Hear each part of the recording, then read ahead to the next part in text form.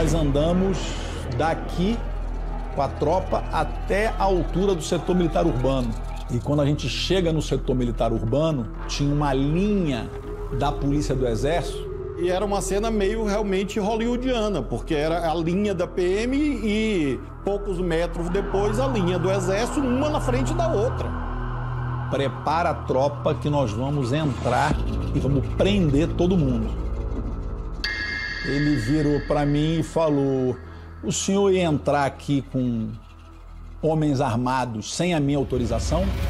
Porque eu acho que eu tenho um, um pouquinho mais de homens armados que o senhor.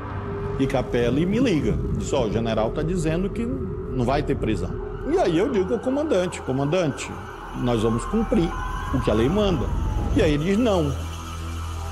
Não, não vão. Acho que foi uma das piores noites de minha vida, entende? Eu, naquele dia, fiquei me sentindo impotente diante de um problema tão grande e precisando ter coragem e não demonstrar que estava sentindo isso para poder enfrentar o problema dali para frente. E foi aí que ele me disse o seguinte, presidente, eu estou preocupado porque pode ter uma chacina.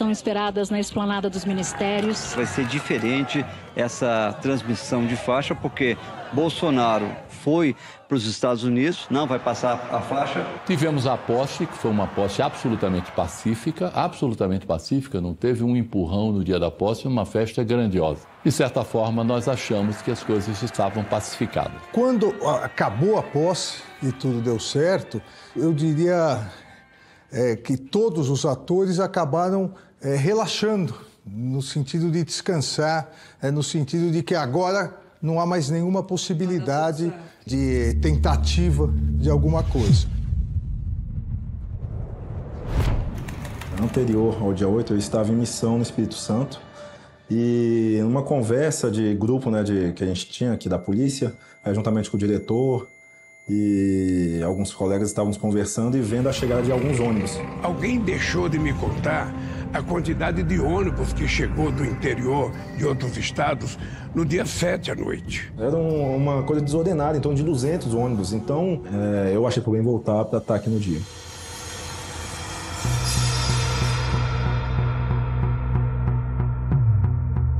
E eu mando o WhatsApp para o governador. Governador Ibanez, o senhor pode me esclarecer como será o bloqueio na esplanada? Muito bem, ele não respondeu na noite do, do sábado.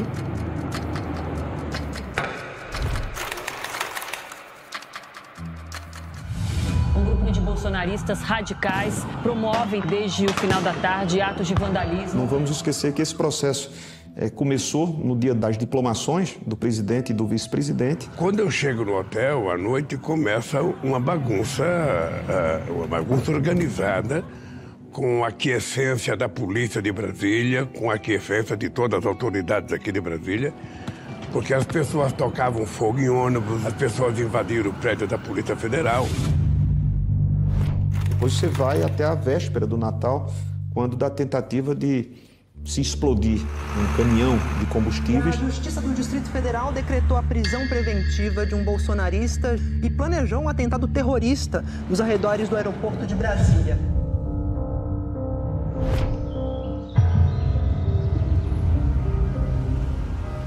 Na manhã do domingo, por volta de 9 horas, o governador me manda a primeira mensagem.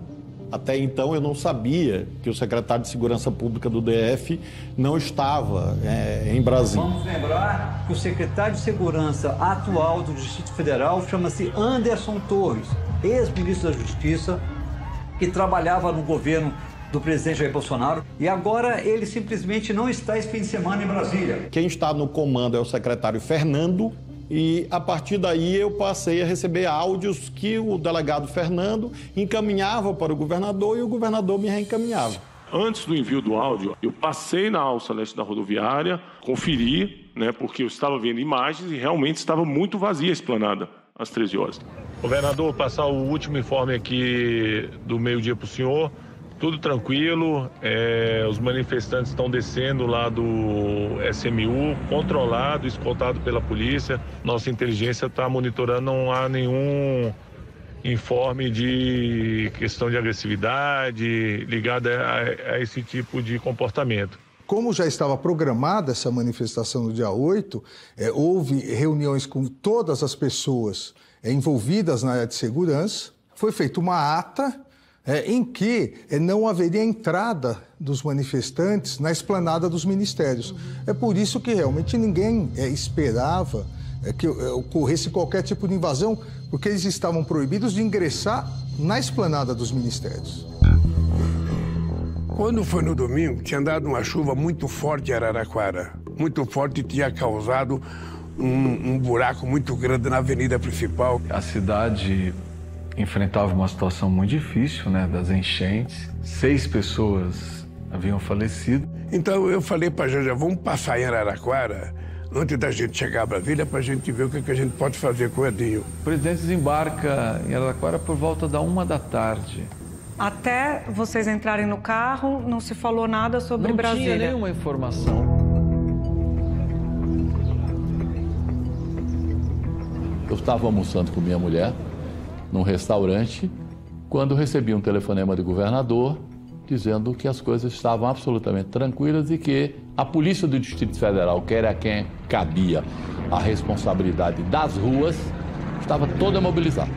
Pouco depois do almoço, o grupo começou a descer pela contramão aqui da N1. Falava de 3, 4 mil pessoas. Não é algo que assuste e o próprio governador Ibanês me disse isso expressamente creio que na sexta. Ele disse, professor, a nossa polícia é acostumada a isso. No dia 8 de janeiro, eu estava almoçando com os amigos e fazendo hora, porque a minha esposa estava chegando com a mudança de São Luís. No dia 8, ela com meu filho, com o cachorro, com a mala, literalmente a mudança. E eu ia é, buscá-la no aeroporto. Era o nosso primeiro domingo em Brasília, né? Elas estavam se mudando para lá. Estavam almoçando num restaurante que fica ali na beira do lago. Aquela coisa, regra, ó, ninguém fica com o celular aqui, vamos almoçar, conversar. E de repente a minha companheira pega o celular e ela, ao abrir o celular, fala: Ó, tem alguma coisa grave acontecendo. Eu pedi para parte da minha equipe vir para o ministério para observar e a assessora de comunicação Lorena Ribeiro, que estava aqui, é, me avisa que havia ocorrido a ruptura da primeira linha de bloqueio da PM do DF.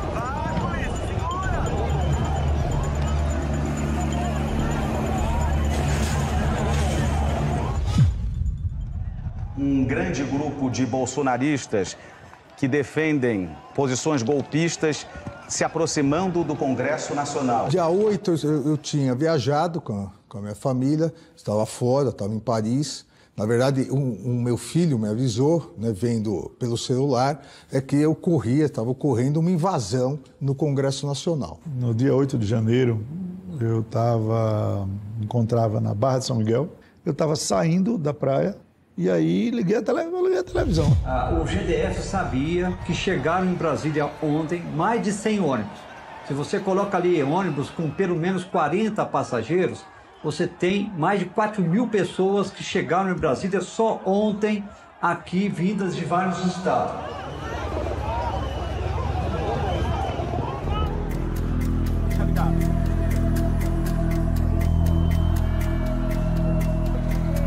E aí nós entramos no carro, começamos a conversar, comecei a relatar a ele tudo que Araraquara havia enfrentado. Quando me chega uma mensagem no meu celular do Stucker, dá uma olhada e mostra para o presidente. Aí o Edinho me mostrou o pessoal começando a invadir, não tinha invadido ainda. Eu liguei para o Gonçalves. Liguei para o Gustavo para perguntar, Gustavo, do que está acontecendo? Nós temos o, o, o, plano de escudo planalto, o plano estava acionado. As tropas estavam todas, todas de prontidão. Ele disse, nada, está tudo sob controle, está tudo sob controle. Eu falei, Gonçalves, a pessoa estou entrando, eu estou vendo pela televisão, Gustavo. Tanto é que num dado momento ele é, levantou a hipótese de voltar para Brasília. E nós ponderamos que daqui ele tinha condições de, de dirigir o governo. Ele indo para Brasília seria uma incógnita que ambiente que ele acharia em Brasília a hora que ele aterrissasse o, o, avião. Era uma situação de risco e ele ficou. Mas é preciso prender essa gente. Eu fiquei sem saber o que é estava acontecendo e fomos direto para o comando militar do Planalto para saber o que é estava acontecendo. Eu queria saber se tinha alguém por trás daquilo. Chegamos lá, encontramos todo o Estado, quer dizer, todos os, os generais, coronéis, todas as autoridades do Exército. Lá não havia um ar de conspiração. Telefone do presidente Rodrigo Pacheco, consigo falar com ele. Ele estava em férias no interior da França, né? Eu estou agora tomando providência para retornar de imediato para Brasília, mas eu não vou conseguir chegar hoje procure o presidente exercício do Congresso Nacional, que é o senador veneziano. Meu filho disse: Meu pai, o senhor está vendo? Eu não estava preocupado, eu estava ciente de que nada aconteceria uma mobilização. E aí eu.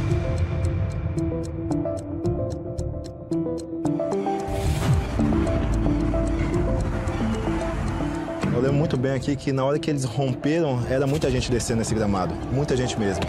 E aí eles atropelaram a gente aqui praticamente, entendeu? E a gente tentou repelir com gás. Mas mesmo assim, por conta do vento, eles conseguiram transpor o gás e vieram até aqui. Quando eles chegaram aqui, eles não tiveram dificuldade, porque o grupo era muito grande, muito grande. Eu falei, vamos recuar pro Salão Azul, vai ser o jeito. Não tem como, que aqui é muito grande, muito vidro, entendeu? Não tinha como a gente fazer uma linha aqui com o efetivo que a gente tinha.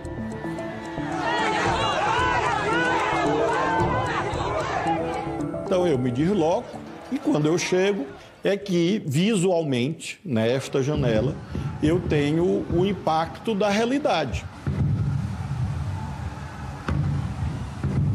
Quando começou o confronto, nós tínhamos 20 policiais desse lado e 16 policiais do outro lado. A tropa não conseguia avançar, então nós decidimos é, reposicionar a retaguarda, ok? E isso para nós é, doía mais do que as próprias pancadas, porque para nós a, a, tropa de choque a gente nunca recua, mas nesse dia a fúria era tão grande que não, não teve jeito. Eu achei que eu já sabia o que, era o medo da morte, mas naquele dia ali eu tive a certeza que eu, eu vou morrer agora. Foi, foi por muito pouco.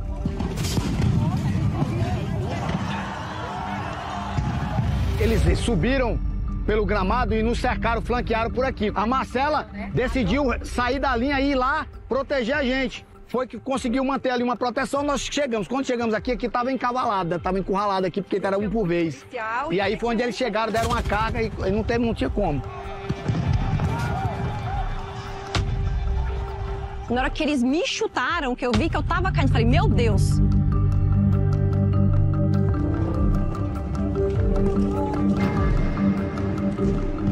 Tanto que eu não, não sei, eu não lembro especificamente da forma com que eu caí. Eu lembro só de estar subindo. Né? Essa é a parte, é uma parte que não tem na minha memória. Como eles estavam tentando me arrastar pelo escudo, eu via assim, ó, a única forma que eu tenho de me livrar, né, de ser arrastado por meio, da, literalmente, da, dos manifestantes, era largar o escudo. Nesse momento, quando eu larguei o escudo, eles perceberam que eu estava sem proteção, eu recebi um chute. Aí, no momento que eu caí, eu caí, porque no momento que eu caí, eu já recebi um golpe na cabeça né, com, com uma barra de ferro. Ali eu tinha que agir. Então eu, eu usei o lançador como tacape, peguei ele pela ponta, tanto queimei a mão que ele estava incandescente, mas não tinha mais cadência de munição, não tinha mais, eu tinha que ir para cima para tirar ela. E aí eu fui com um tacape para cima, eu consegui colocá-la de pé, de pé e Marcela retornou para a linha, mesmo machucada, ferida, retornou para a linha. Chegando lá já pegou um escudo, já outro escudo e já, já foi para a linha. E eu continuei aqui mantendo eles à distância. Só que eu fui cercado. E aí eu fiquei para trás. Aí me deram um chute, me derrubaram, desliguei por duas vezes e voltei. Se eu tivesse desmaiado mesmo, talvez eu tivesse morrido. Mas ali na ânsia de sobreviver, você eu desligava e voltava e a multidão em cima, arrancando máscara, arrancando carregador, tentando tomar minha arma, todo tempo tomar arma, espancando com barra de ferro. Mata, mata, mata, mata. Foi quando mais dois policiais, o sargento Damasceno e o soldado Lobato, saíram, perceberam que eles falaram pra mim que viram só uma parte do coturno ali no, do lado de fora da multidão. Eles pensaram, cara, tem um cara lá. Aí saíram e foram me resgatar. Esses dois camaradas é o que eu, que falo que são meus, além de irmão de farda, de, de profissão, são irmãos de sangue ali. Anjo da guarda, né? O anjo da guarda ali foi que me, me salvaram. Os caras são guerreiros. São. Porque são. foram buscar a gente na, na- nas garras da morte. Eu busquei essa daqui e os outros dois me buscaram ali. Eu ligo para o governador Ibanês, novamente. Ele não, não pôde atender, infelizmente. O secretário de Segurança Pública estava nos Estados Unidos. É, o governador estava incomunicável naquele momento. Fiz uma primeira ligação para o governador Ibanês. Uma vez consegui falar, é, a informação que ele tinha, que as coisas estavam é, todas dentro de um, de um padrão de, de, de normalidade, e eu dizendo, bom, eu não estou vendo isso na televisão. Já há informações de que golpistas estão dentro do Congresso Nacional, mais especificamente no Salão Verde, que é o que dá acesso à Câmara dos Deputados. Durante as tentativas de invasão, nós em contato direto com o pessoal da direção do DEPOL, que teve uma luta muito grande para preservar o plenário da casa. Foi o que eles conseguiram preservar. Ele falou, pô, faça tudo ao seu alcance para que eles não invadam o plenário Ulisses Guimarães, que é o símbolo maior da Câmara dos Deputados. E foi o que a gente fez. Aqui eu tinha, no dia, no auge da situação, eu tinha 90 homens. E eles tentavam fazer com que a gente desistisse de proteger o plenário, justamente dizendo: olha, a gente vai botar fogo no plenário, vocês vão morrer queimado, e a família de vocês, etc. Eu não vou mentir, estávamos todos com medo, havia ah, colegas nossos chorando, duas linhas de policiais aqui, só que aí a, a turba começou a empurrar, empurrar, empurrar, e aí quebrou o vidro, essas portas caíram né? E aí, a partir desse momento, é que a gente entrou com a primeira linha de gás.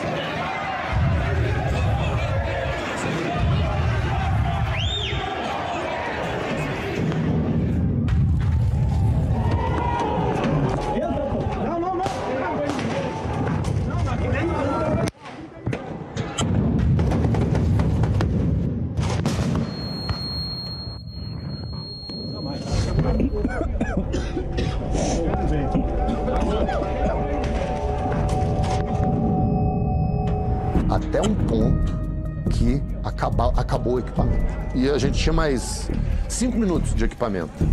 E, e- e o nosso bunker de equipamento é lá no anexo 3.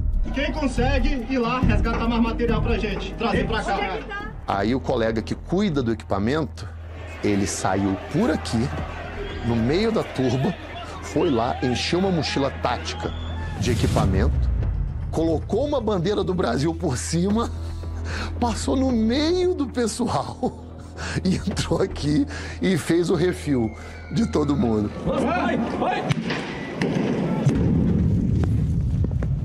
Eles ligaram a água para que eles próprios pudessem se descontaminar do gás, porque essa área estava totalmente contaminada de gás e se você não colocar água em abundância, não é, não é só pouca água, porque pouca água piora, mas água em abundância é o antídoto para o gás.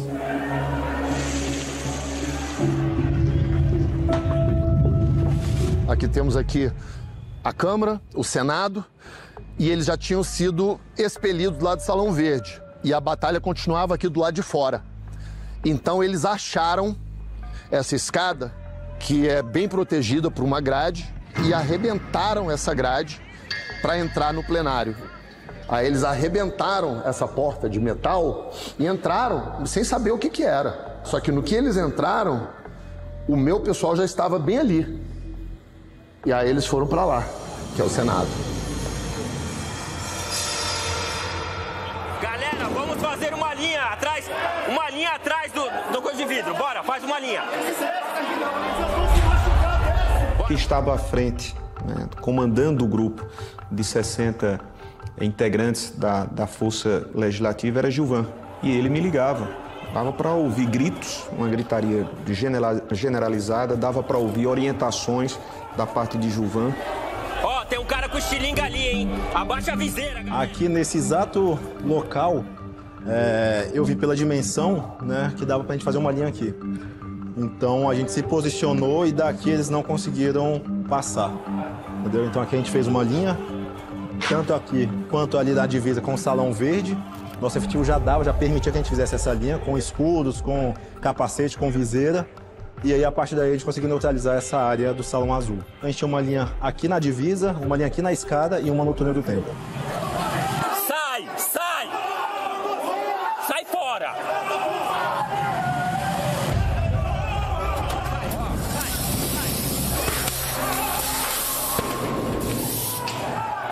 Filho da puta!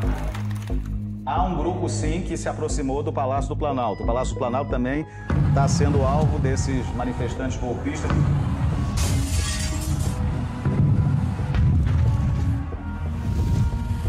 Até a ficha cair, eu falei, ô Rogério, isso é fake, pô.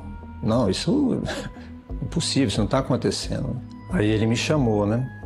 Camargo, vamos? Eu falei, demorou, vamos embora. Quando subimos a, o, a rampa pela garagem, uh, nos deparamos com caos, né? Tava tudo tomado, o palácio inteiro estava tomado. E quando eu subo e chego no terceiro andar, eu vou em direção ao gabinete ou encontro com o general G. Dias, né? Eu estava subindo do segundo andar para o terceiro, passei literalmente uma porta de vidro, verifiquei se a porta que entra na sala do presidente através da ajudante de ordem estava fechada, saí pela outra porta de vidro, a porta contígua ao gabinete do presidente, que é uma sala de reuniões, ela estava aberta e escutei vozes lá dentro. Entrei, vi três pessoas no fundo da sala, escondidas.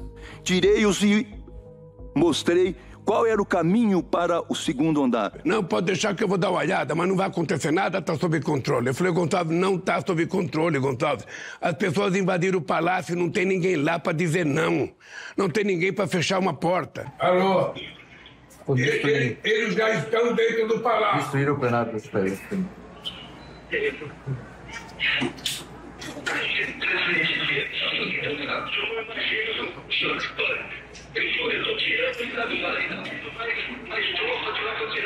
Mas eu, eu não vi nenhum soldado, nenhum policial, não vi ninguém até agora.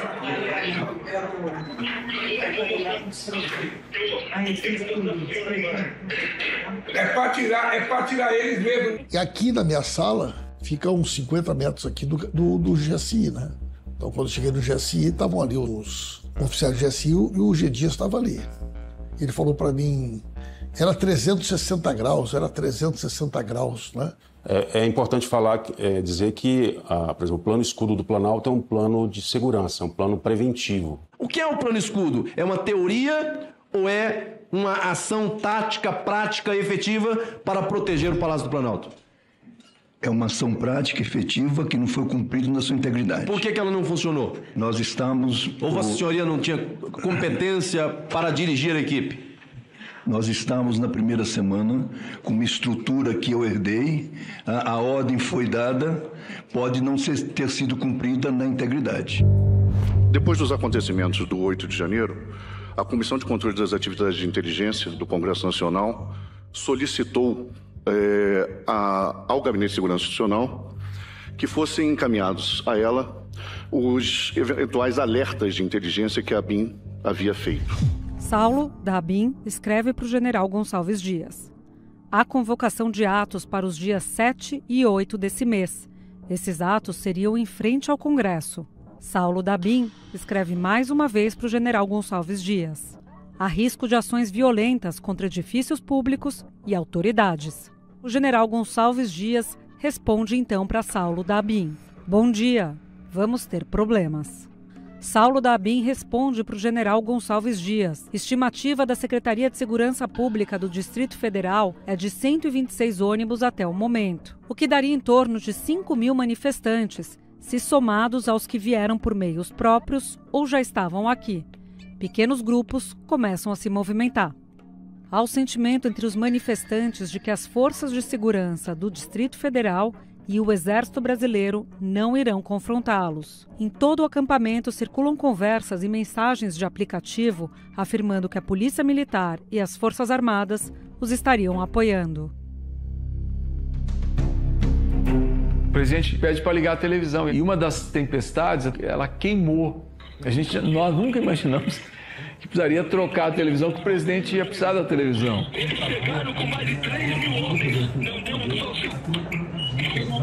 Eu acho que o governador do Distrito Federal, Banheiros Costa, precisa se explicar o que aconteceu, porque a segurança aí é dele. Porque muita gente pensa que o governo federal tem autoridade sobre a esplanada. Não, não tem. A esplanada não é uma BR, a esplanada é uma via urbana, sob a autoridade do GDF. Tanto que os órgãos que, respectivamente, garantem a segurança dos prédios atuam dentro dos prédios ou na fronteira do prédio. Então, a Polícia Legislativa da Câmara, a Polícia Legislativa do Senado, a Polícia do Supremo e, no caso do Palácio Planalto, o Exército, por intermédio do GSI. Eles atuam ali. E na esplanada, PM do DF. Eu acho que foi um conjunto que aconteceu. Nós tivemos falha da Polícia Militar do Distrito Federal, nós tivemos falha do Batalhão do Exército, que defendia o Palácio do Planalto, nós tivemos diversas falhas em conjunto. E eu tenho certeza que isso, a investigação vai poder e vai apurar tudo que nós temos. A polícia acabou autorizando o ingresso. Tem uma imagem que mostra a polícia é, é, fazendo escolta desses manifestantes e, num determinado momento, se perdeu o controle. Você via policiais rindo, você via policiais tirando selfie com os manifestantes. Você vê a polícia abrindo espaço para eles passarem. Ou seja, houve uma facilitação que nunca tinha visto na história desse país. Ele estava na minha mesa de trabalho, a gente próximo, e a Janja tem, um, tem uma poltrona, ela estava sentada e tinham entrado na sala dela. Ela liga para a sala do, do presidente, o gabinete do presidente. E aí atende um segurança. Pode falar que estão todos aqui numa sala, reunidos, estão ouvindo o que você tem a dizer. E ele dizia: Olha, aqui ninguém entra, aqui ninguém entra. Era como se o símbolo do poder, que era o gabinete do presidente, ali eles não iam entrar. Você imagina um manifestante sentado na cadeira do presidente. Isso tem um, uma, um, simbolismo, um impacto, impacto muito forte, né? Foi quando eu comecei a fazer as barricadas, né? Então a gente pegou o que tinha disponível lá, móvel, mesa, poltrona, e aí a gente montou no pé das, no pé das escadas e no pé da rampa. Pessoal jogando muita pedra, bomba contra a polícia e a polícia revidando. Muita gente lá dentro, ó. A gente tem a informação de que esses radicais conseguiram invadir o Supremo Tribunal Federal.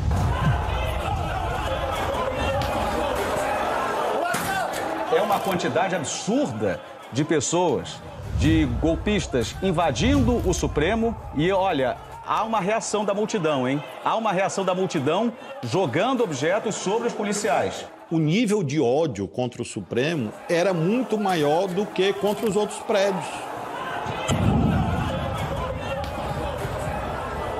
A minha grande preocupação naquele momento é que essa ação pudesse levar a algum tipo de vítima fatal. Eu me lembro que o Capitólio, por exemplo, tiveram seis vítimas fatais.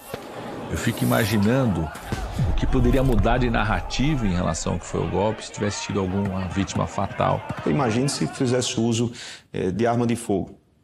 Um desastre, um terror que poderia inclusive acelerar o discurso da necessidade da glória. Né? A necessidade de se colocar, entre aspas, ordem através da presença é, das forças de defesa. Eles quebraram a presidência! Bora, bora, recuando devagar em minha, galera! Eu liguei ao presidente e ele perguntou: e aí, o que fazer? E eu cumpri o meu papel de assessoria técnica e abri o cardápio a ele. Então, o senhor tem intervenção federal, existe a GLO, existe o estado de defesa, existe o estado de sítio. Abri esse cardápio a ele. E aí, quando se abre o debate sobre a GLO, a Janja fica, ela está sentada nesse momento e ela fica em pé e diz: GLO não, é entregar para os militares. Inclusive, foi a Janja que marcou. Não aceita GLO porque GLO, tudo que eles querem é tomar conta do governo. Se eu dou autoridade para eles, eu tinha entregado o poder para eles. Teve um momento de embate, né? Entre eu e, e o, o general Dias, por exemplo, de, de, que eu me exaltei mesmo. Eu falei assim, ô general, o senhor não precisa de GLO para entrar lá no Palácio do Planalto e esvaziar as pessoas que estão lá. Só essa quantidade de polícia não vai dar conta de conter.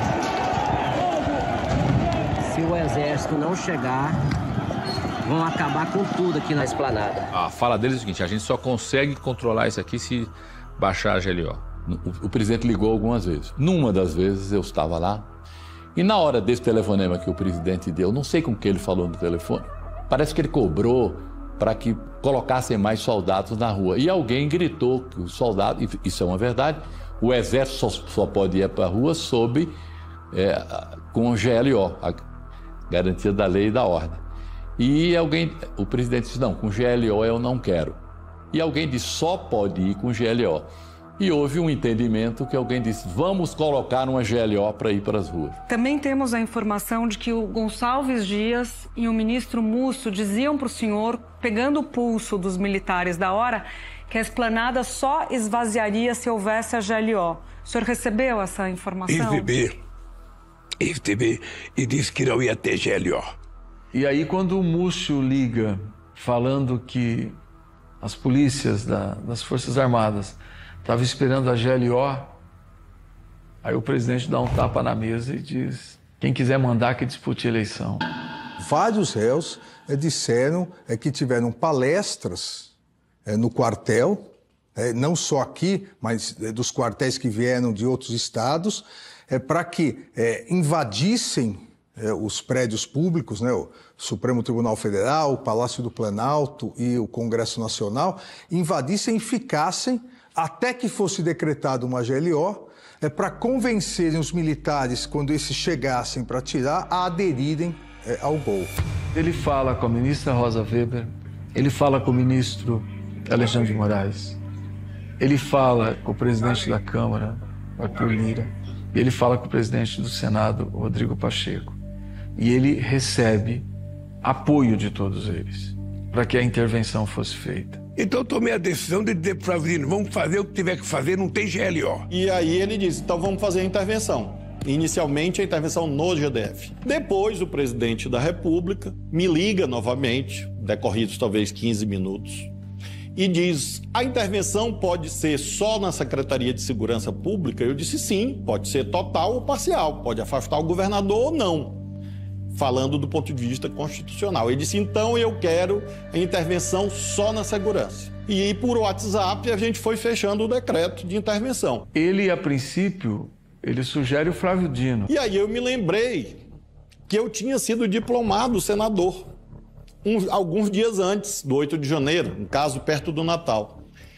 E aí há uma vedação que alcança os senadores e deputados federais desde a diplomação e não desde a posse. Eu me dou conta que eu teria que abrir mão do mandato de senador para poder ser interventor. Aí já tinha chegado o ministro Alexandre Padilha, já estava aqui. Flávio Dino me chama, vem cá, Padilha, tem uma coisa séria que a gente precisa resolver. E ele fala: Ó, eu acabei de perceber que eu não posso assumir o papel de interventor. Estou ligando para o presidente aqui para falar isso agora para ele. Aí o Flávio Dino disse para ele que por ser senador não pode Aí ele sugere o Padilha. Você pode assumir, né? Fala assim, ó, presidente, não sou constitucionalista, não sou juiz, mas se talvez tenha algum tipo de vedação é, institucional, também sou deputado, eleito, né? licenciado para assumir o ministério. E como a ligação estava ruim, eu me, me dirigi a outra sala, que é ao lado, por esse caminho aqui, em busca de um sinal melhor para o celular. E aí o ministro Padilha, Alexandre Padilha, me acompanha e eu, eu e ele ficamos falando com o presidente dessa janela. E ali, ali embaixo, eu vejo o secretário Capelli, que eu não lembrava, inclusive, que ele já tinha chegado. Porque não tinha comando. Alguns soldados que estavam embaixo, a gente olhava, tinha alguns soldados, não tinham comando. Eu me lembro que Capelli desceu da sala de Dini e foi lá embaixo e falou com os soldados: olha, vocês vão para lá, tenta evitar isso, tenta evitar aquilo. Eu desci porque você tinha uma série de ministros, de autoridades lá em cima. Imagina se eles decidem invadir o Palácio da Justiça. E os homens estavam aqui. Aí eu me apresentei Dei uma voz de comando neles e coloquei eles em linha aqui e determinei que daqui para lá ninguém mais passasse. Então é neste contexto que eu estou naquela janela ali, lá da minha sala. É que dá para ver daqui onde tem aquela plantinha e aqui do lado, com a luz acesa. E aí eu vejo Capelli aqui. E ele dizia e falava para os policiais e tal.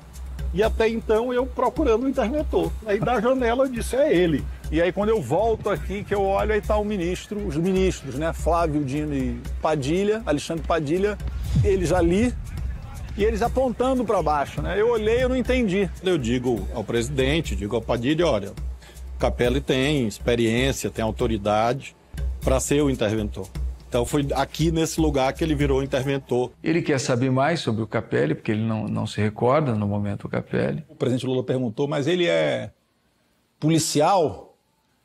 Aí o, o ministro falou, não. É, mas ele é especialista em segurança pública? Aí o ministro falou, não. Ele é o quê? Aí o ministro falou, jornalista. Aí o o presidente falou jornalista, ele falou é, jornalista, e ele é o 02 aqui do Ministério da Justiça. E a garantia sou eu. A garantia sou eu, presidente. O senhor está colocando o vice-ministro da Justiça para ser o interventor, comandar a situação, uma situação grave como essa. E aí, quando eu subi, a chefe de gabinete, ela me, ela me perguntou, é, secretário, o seu nome é Ricardo Capelli, mas tem um outro nome no meio, né? Eu falei, Rafa, mas por que. É Garcia, mas por que, que você quer? Ela falou, não, porque o, o, ministro falou que o senhor vai ser um interventor federal. Então foi assim que eu recebi a notícia. E o presidente dizia, e como vai ser a assinatura? O presidente só assina, fotografa e me mande. Eu vou dizer, confere com o original e, e, e vamos. Foi uma pequena operação de guerra. Não, eu recebo pelo celular, mando o pessoal imprimir para mim, sabe?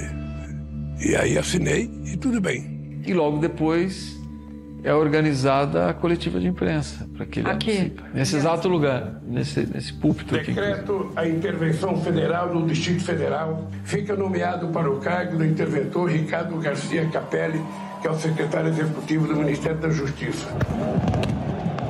O governador do GDF só veio atender uma ligação minha quando uh, o presidente Lula já estava anunciando lá em Araraquara que ia entrar com a intervenção federal no GDF. Lembrar como se fosse hoje, assim, a fala dele é a seguinte: Ministro, tem uma polarização no país. O Brasil está polarizado e, e, eu, governo do GDF, que vou é, né, sofrer as consequências disso? Eu falei, não tem outra coisa a fazer, não ser prender esse governador. Ele está participando do evento, ele é cúmplice disso. Ele concordou com isso, ele negligenciou, ele não agiu corretamente, ele não cuidou que a polícia cuidasse das coisas que estavam acontecendo durante todo o período, todas as manifestações de uma semana antes, uma semana depois. Ele era conivente com o caso. O governador Ibanez foi afastado não foi por determinação do governo, foi por determinação da justiça. Ou a gente permite que cada um cumpra com a sua função, e essa função era da, da justiça brasileira, não minha.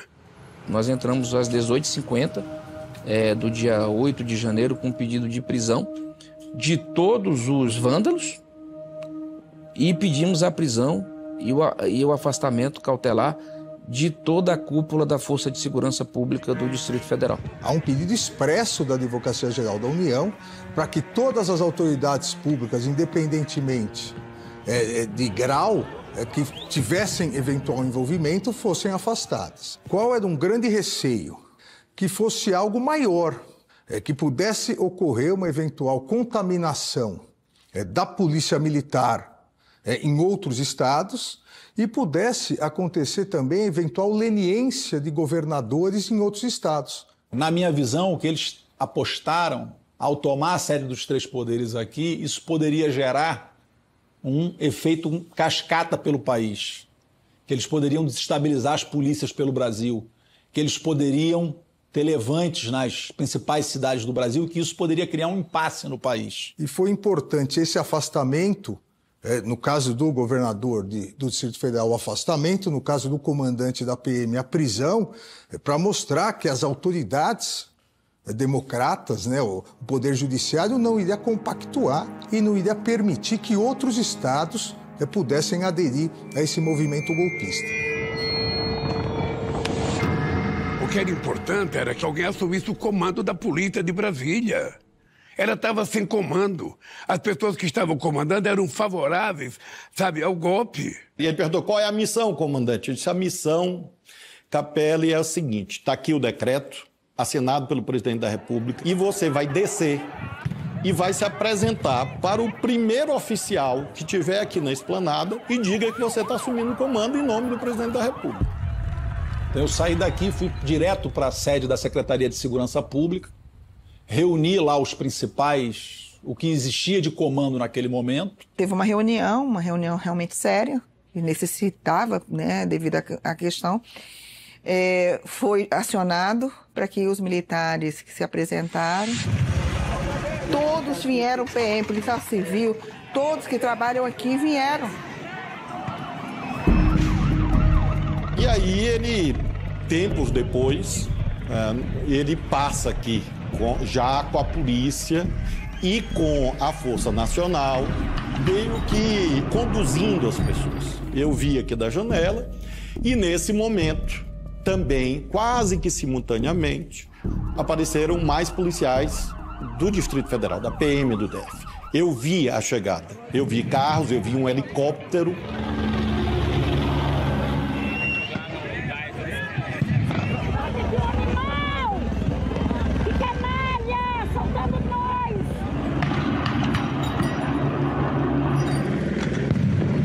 Aí começamos a varrer a esplanada de novo. Essa aqui eu falei várias vezes para ela, Marcela, senta, descansa, tu tá machucada. 01, eu vou, é, é até o fim, 01, é até o fim com o escudo, eu não solto não. Tinham fatores também que dificultavam, por quê? Porque o vento estava contrário. Então você lançava a bomba de gás lacrimogênio e o gás voltava, tive o rosto com aquela sensação de queimação, né? De, e aquela, aquela falta de ar, porque voltava, o gás voltava na nossa, no nosso rosto, né? Era o choque da PM, do Era, DF. é, era o pé, era pé, o PM.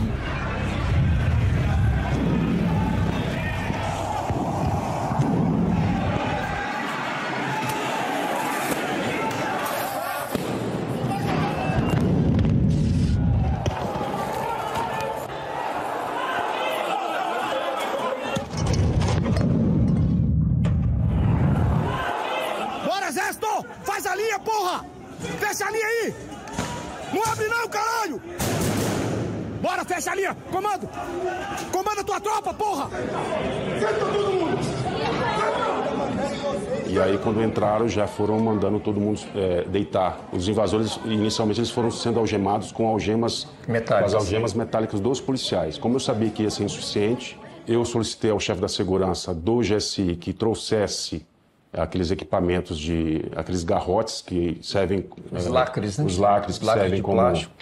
como algema algema de plástico eh, descartável Eu encontrei lá embaixo o coronel Jorge Naime. Eu fui saber depois que estava de férias, mas que apareceu, né? Eu estava de licença regulamentar, devidamente publicada, devidamente deferida, e no momento que eu fui chamado pelos meus irmãos para o combate, de imediato me apresentei. Quando Capelli chegou na, na esplanada, os prédios já estavam retomados, já estavam sob controle da Polícia Militar. Com ele, eu tive alguns embates no dia 8, porque eu dava o comando para que a tropa andasse, mas ficava claro que ele não estava de acordo, porque ele segurava a tropa, ele não estava de acordo em avançar e prender. Nós andamos daqui com a tropa até a altura do setor militar urbano, Pro QG. para o QG. Efetuamos prisões na rodoviária e queríamos prender outros ao longo do caminho antes do setor militar urbano. Então a luta foi andar até lá, né? Eu acho que a gente chega lá por volta de 9, 10 da noite.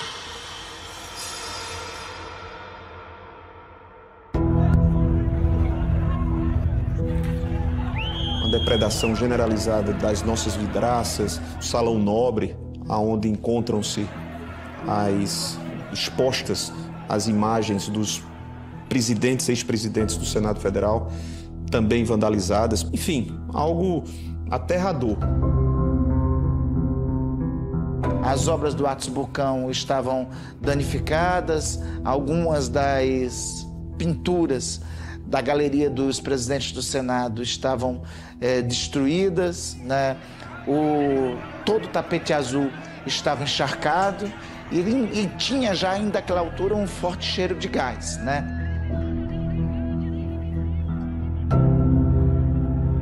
As lideranças ficam no terra ali, todas as janelas quebradas, os quadros de, de internet, de, de logística de, de rede, tudo destruído, queimado. Quebraram aqueles vidros todos ali daquela, daquele, daqueles azulejos. Fica ali no Salão Verde, o tapete.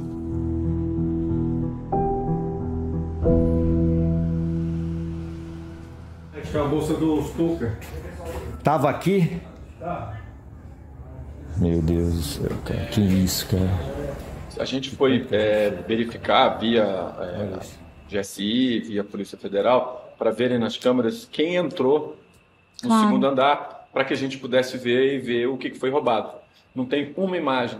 Eles desligaram na chave geral, você não tem imagem, além deles terem quebrado.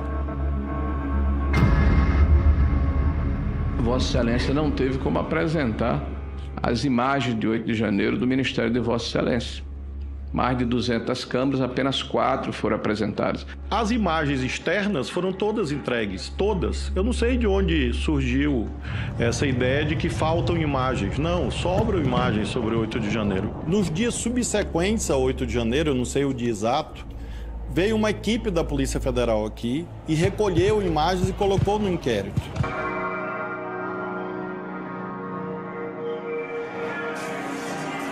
Eles não, não roubaram os computadores. O que, que eles fizeram? Eles abriram os computadores e puxaram os HDs. Os HDs. Depois, quando é, alguns foram detidos, né, no final, foi feita uma revista. Não acharam um HD, não acharam uma máquina fotográfica. Era perceptível que havia ali pessoas que não sabiam exatamente o que estavam fazendo, mas havia também pessoas extremamente preparadas, taticamente, tecnicamente e em equipamentos.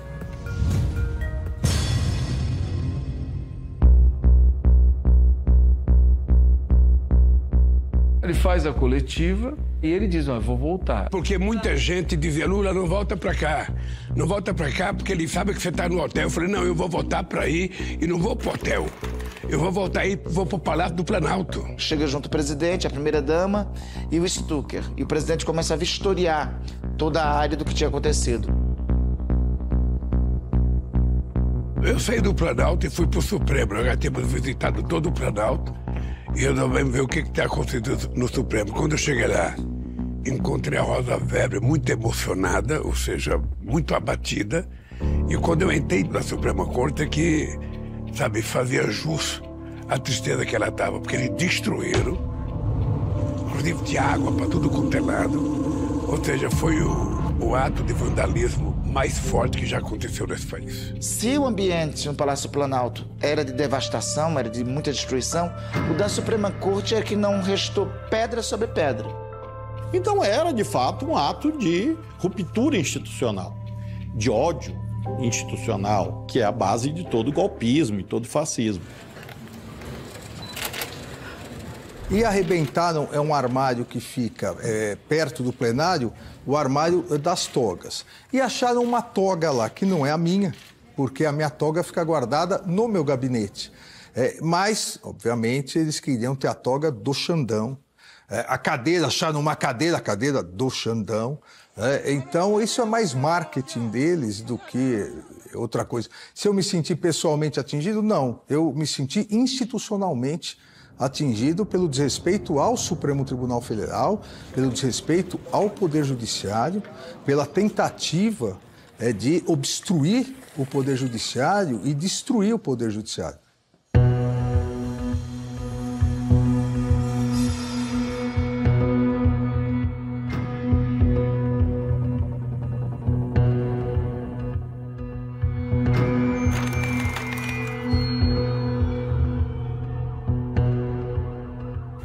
Quando a gente chega no setor militar urbano, tinha uma linha da polícia do exército e era interessante porque os manifestantes entravam por trás da linha de volta para o acampamento. O comandante deu mais proteção a quem estava acampado do que proteção a quem estava do lado de fora para tentar uh, uh, tomar conta da movimentação. E aí tinha ficado claro, estava ficado claro que o comandante do exército não tinha autoridade de mexer naquilo. Capelli me liga e diz: Mestre, é para fazer as prisões? Eu digo: Claro, claro, estão todos em flagrante. É, eu virei para o então comandante, Coronel Fábio Augusto, e falei para ele: prepara a tropa que nós vamos entrar e vamos prender todo mundo. Nós recebemos ordem do secretário interventor para poder entrar no acampamento e realizar todas as prisões. Eu disse, Fábio, essa operação é muito complexa. Nós temos que coordenar. Onde é que vocês estão? Ele volta muito tenso e fala para mim: olha, o general Dutra, comandante militar do Planalto, quer falar com o senhor e pediu para o senhor ir até a torre de TV. Aí eu falei: avisa ao general Dutra que eu tenho ordens para não sair daqui. Se ele quiser vir falar comigo, ele vem aqui na porta do setor militar urbano falar comigo. Daqui eu não saio, eu tenho ordens para entrar e prender todo mundo e é isso que eu vou fazer. E aí o general passa cinco minutos, o general Dutra chega. Eu virei para o doutor, doutor Ricardo, essa operação é muito complexa. Nós temos que planejar essa operação, senão tem o risco de morrer gente. E aí ele me disse: olha, se o senhor entrar, nós vamos ter um banho de sangue. E aí eu perguntei a ele, eu falei, general, um banho de sangue? Por que nós vamos ter um banho de sangue? O senhor está me dizendo que o, o exército brasileiro está protegendo manifestantes armados dentro do setor militar urbano? Ele virou para mim e disse assim: General, o senhor está me dizendo que eles estão armados? Eu disse: Não, senhor, doutor Ricardo. Eu estou dizendo para o senhor que a Praça dos Cristais não tem iluminação adequada para uma operação noturna. Foi aí que aconteceu a história de que ele disse: Olha, se a gente for tirar agora, vai ser uma um, pode ter muito problema, porque já é tarde da noite, já tinha gente bebido. No acampamento ainda tem espeto de churrasco, faca de churrasco, as pessoas estão cansadas, tem mulher, tem idoso. Se nós entrarmos sem planejar, vai ter gente que pode morrer até afogada no lago. E Capelli me liga. Diz: Ó, oh, o general está dizendo que não vai ter prisão. Enquanto eu conversava com ele, chegaram reforços na linha da da Polícia do Exército. Inclusive, eles moveram blindados. O general Dutra conversou com o interventor, havia uma formação do Exército na frente, com vários militares do Exército, dois blindados apontados para a via N1. Quando cria um impasse com ele, ele se afasta de mim e faz uma ligação telefônica. E eu resolvi ligar para o general Gonçalves Dias, então ministro-chefe do Gabinete de Segurança Institucional. E, general, nós estamos numa situação grave aqui, a polícia está aqui, nós vamos ter uma operação sem o planejamento adequado. Por favor, liga para o presidente Lula e explica para o presidente Lula que essa operação tem alto grau de risco. Ele, Dutra, eu não preciso ligar ao presidente, o presidente está aqui na minha frente. Num dado momento, ele volta para minha frente para que eu ouvisse a conversa dele ao telefone e ele fala: é, Que bom, presidente. Se nós entrarmos agora sem planejamento, podemos terminar essa noite com sangue. Foi aí que ele me disse o seguinte, presidente. Eu estou preocupado porque pode ter uma chacina aqui. É muita gente, é tarde da noite. Ele, na mesma hora, falou: seria uma tragédia. E falou assim: general, isola a praça e prende todo mundo amanhã. Eu vi ele dar uma declaração de que falou comigo e eu concordei. Lógico que eu concordei. Eu não queria que tivesse genocídio, eu não queria que tivesse violência. Por isso que eu falei: a gente vai cercar o acampamento, não vai deixar sair ninguém. E eles colocaram o tanque lá muito mais para proteger o acampamento do que para dar força para nós. Enfim, ele dá a entender que o presidente teria concordado ele dá a entender se aconteceu ou não, eu não posso afirmar. Aí ele desliga o telefone e fala: Olha, eu conversei com o presidente, o presidente ponderou, está concordando em a gente ter mais calma. O general Arruda, comandante do Exército, quer falar com o senhor lá no QG. Vamos lá? Eu falei: Pois não, vamos lá. Chegamos na porta do QG, estava o general Arruda, lá embaixo, com muitos generais que eu não, eu não consigo afirmar todos, mas boa parte ou quase todo o alto comando. Ele me cumprimenta, muito sério. Nós subimos para a sala dele, sentamos numa mesa e assim que eu sento, ele virou para mim e falou: O senhor ia entrar aqui com homens armados sem a minha autorização? Aí eu falei: General, eu tinha ordem de entrar, mas ia avisar o senhor. E aí ele vira pro Coronel Fábio Augusto e fala pro Coronel Fábio Augusto: Porque eu acho que eu tenho um, um pouquinho mais de homens armados que o senhor, né, Coronel Fábio Augusto? Eu percebi que o ânimo, o clima estava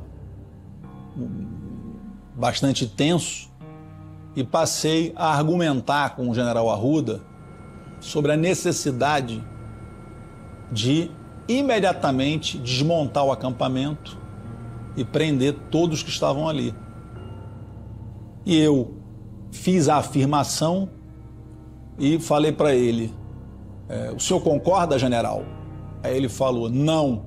Eu pedi para que os ministros fossem lá conversar com o Arruda, para dizer para ele que era preciso acabar, de uma vez por toda, sabe, com, a, com, com aquele acampamento. Que não era mais possível ficar aquele acampamento. E eu chego na altura em que eu, o Capelli havia me dito que a PM estava. Só que quando eu viro, eu vejo a polícia do Exército em formação, duas ou três linhas, mas não de frente para o acampamento, de frente para a PM. E eu vi também uns blindados, um, na minha visão, tanques, eu não sei o nome técnico, mas blindados do, do Exército se locomovendo, saindo de vias e se agrupando ali, com soldados aparatados, como se fossem para um combate. Subimos para a sala do alto comando. Nós fomos conduzidos a uma sala em que é, estavam vários militares. E chegamos eu, Múcio e Rui. E aí eu digo ao comandante: comandante, nós vamos cumprir o que a lei manda. E aí ele diz: não. Não, não vão. Tenho absoluta certeza que torciam por uma virada de mesa porque tinham ojeriza, ódio. O ódio nos olhos um ódio que não é presumido, eu vi, ao que nós representávamos. Era a maioria? Não. A imensa maioria das Forças Armadas no dia 8 de janeiro foi legalista. E isso também ajudou, porque se houvesse uma adesão naquele momento da maioria das Forças Armadas, é claro que o manejo ia ser muito mais difícil. A única coisa que eu me lembro, todos muito silêncio, né? mas eu não me lembro, não sei, vou saber dizer qual foi especificamente, mas eu me lembro de um que argumentou que manifestações como essas também aconteceram no impeachment da presidente Dilma. Quer dizer, com uma comparação absolutamente é, despropositada, esdrúxula e inaceitável. E nessa reunião maior não teve manifestação de generais dizendo manifestação nas ruas é normal? Não, não, não. Aconteceu, não, não, a gente viu nos não, outros governos. Não, não, até porque eu, eu não, não ousei perguntar, porque eu tive medo das respostas. Por que, que o senhor teve medo das respostas? Júlia, eu, evidentemente, o presidente me trouxe para fazer um processo de pacificação. Não é? A suspeição é muito ruim quando você está numa mesa de diálogo, se eu vou conversar com você e você acha que eu estou desconfiando de você, ou eu acho que você está desconfiando de mim. Então nós precisávamos conversar para poder caminharmos para um processo de pacificação. Mesmo que eu desconfiasse, ou que eu tivesse sinais de desconfiança, eu não podia materializá-lo naquela hora. E nesse impasse, uh, eu não lembro bem se foi o Múcio, eu creio que foi o Múcio, que propôs que nós fôssemos para uma sala menor, ao lado. E sentamos nessa sala, eu, o ministro Rui, o ministro Múcio, o comandante Arruda e o general Dutra, que eu não conhecia também, conheci naquele momento. E aí nós temos uma, um longo debate. É, hoje, descrever não tem a carga emocional do momento. E nós fizemos o acordo de prender às 6 horas da manhã. Ministro Alexandre de Moraes determina a desocupação em 24 horas dos acampamentos realizados nas imediações dos quartéis generais e outras unidades militares para a prática de atos antidemocráticos e prisão em flagrante de seus participantes pela prática dos crimes previstos nos artigos 2, 3, 5 e 6. Na hora que o Exército disse aqui não entra, que a Polícia Federal resolveu concordar que se entregava, os, que os manifestantes seriam entregues no outro dia, as coisas começaram a caminhar. Mas parece, por um lado, que assim, a última palavra foi do Exército. Não. Sim, aqui não entra. Não, mas não foi. Depois a, a própria Polícia Federal, o próprio Capelli, as próprias pessoas que não eram do comando, chegaram à conclusão que seria imprudente um enfrentamento. Nós tínhamos outros problemas para serem enfrentados. Havia pessoas que apostavam naquilo como deflagrador de uma crise, de um impasse institucional e, e, que nós íamos perder a governabilidade. Não pode parar a investigação enquanto a gente não descobrir, sabe, quem financiou. Porque isso não foi de graça, isso teve gente que financiou. Se você olhar o que aconteceu em 31 de março de 64, as pessoas acham que um, um golpe tem um planejamento milimétrico. Não é assim que a história é construída. Quando o Mourão desceu de Juiz de Fora para o Rio de Janeiro, ele não tinha um plano detalhado, milimétrico do que ia acontecer. Ele desceu. Se tivesse havido resistência, o desfecho talvez pudesse ter sido outro. Não houve. Então a história ela é construída no calor dos acontecimentos. Não houve um golpe porque, na minha, na minha visão, não houve maioria no alto comando do Exército. É, o alto comando do Exército se manteve legalista, leal à Constituição. Se não tivesse tido esse acordo nessa noite, talvez a gente tivesse outro desfecho. Eu já pensei nisso semanas, meses. Vamos imaginar que não aconteceu, eu chegasse lá, diante do impasse, e dissesse: comandante, muito obrigado, boa noite, saísse, pegasse o carro junto com o interventor e dissesse: vamos entrar aqui e prender as pessoas. O que ia acontecer? Então, no tribunal da história, que é um tribunal mais distanciado, eu creio que a imensa maioria vai concordar que o acordo foi certo. As pessoas mais sérias não brincaram em serviço. As pessoas mais sérias tomaram as posições que tinham que tomar e restabelecemos a normalidade. Tem muita gente que está na mira e pode ficar certo que vai ser encontrado. É apenas uma questão de tempo.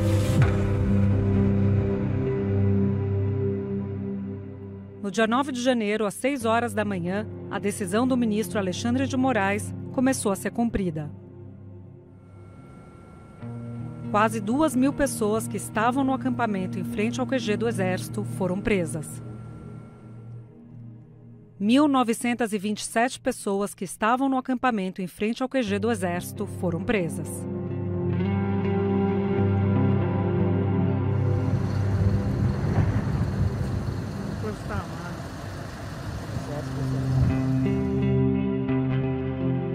Representantes dos 26 estados e do Distrito Federal caminharam com Lula até o Supremo em apoio à democracia.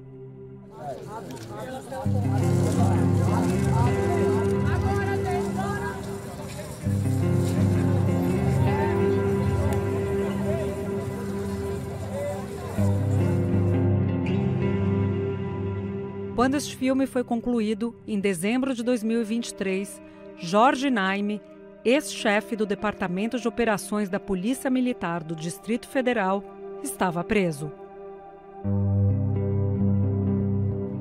E Fábio Augusto, ex-comandante da Polícia Militar do Distrito Federal, também estava preso. Anderson Torres, ex-secretário de Segurança do Distrito Federal, ficou preso do dia 14 de janeiro de 2023 até 11 de maio de 2023. Até esse filme ser finalizado, ele estava em liberdade provisória com medidas restritivas. Ibanez Rocha, governador do Distrito Federal, ficou afastado por 66 dias por determinação do Supremo Tribunal Federal. Reassumiu o posto no dia 16 de março de 2023. O ex-comandante do Exército, General Arruda, foi exonerado do cargo no dia 21 de janeiro de 2023. Ex-comandante do Comando Militar do Planalto, General Dutra, foi exonerado do cargo no dia 11 de abril de 2023. Gonçalves Dias foi exonerado do Gabinete de Segurança Institucional no dia 19 de abril de 2023. Os militares citados foram procurados, mas não quiseram gravar entrevista. 135 pessoas foram indiciadas pela CPI do Distrito Federal. O nome do ex-ministro Gonçalves Dias foi excluído do relatório final. 61 foram indiciadas pela CPI do Congresso, entre as quais o ex-presidente Bolsonaro, Anderson Torres, Fábio Augusto e Jorge Naime. Depois das investigações da Polícia Federal e denúncia da Procuradoria-Geral da República, 1.353 homens e mulheres se tornaram réus. A Polícia Federal criou a Operação Lesa Pátria, que passou a investigar executores, financiadores e mentores dos atos de 8 de janeiro. Até a conclusão deste filme, em dezembro de 2023, 30 réus haviam sido condenados com penas de até 17 anos de prisão. Os prédios do Planalto, do Supremo Tribunal Federal e do Congresso foram restaurados.